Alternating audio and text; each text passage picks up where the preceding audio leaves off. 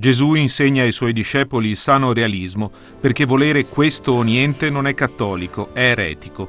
Lo ha ricordato Papa Francesco nell'omelia della messa del mattino celebrata a casa Santa Marta, nella quale ha commentato l'insegnamento di Cristo ai discepoli descritto nel Vangelo di Matteo. Se hai un problema con il fratello, prima riconciliati con lui, poi vai all'altare. Gesù ci conosce, ha spiegato, e ci chiede di liberarci da un idealismo rigido che non permette di riconciliarci tra noi. Tante volte non si può arrivare alla perfezione, ma almeno fate quello che potete, ha detto Gesù, mettetevi d'accordo per non arrivare al giudizio. Questo sano realismo della Chiesa Cattolica.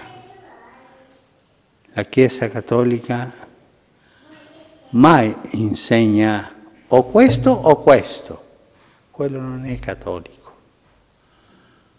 La Chiesa dice questo e questo.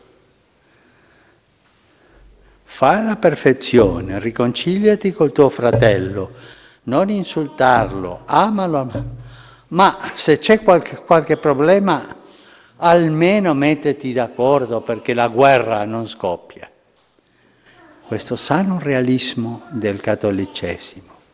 Non è cattolico o questo o niente quello non è cattolico, quello è eretico.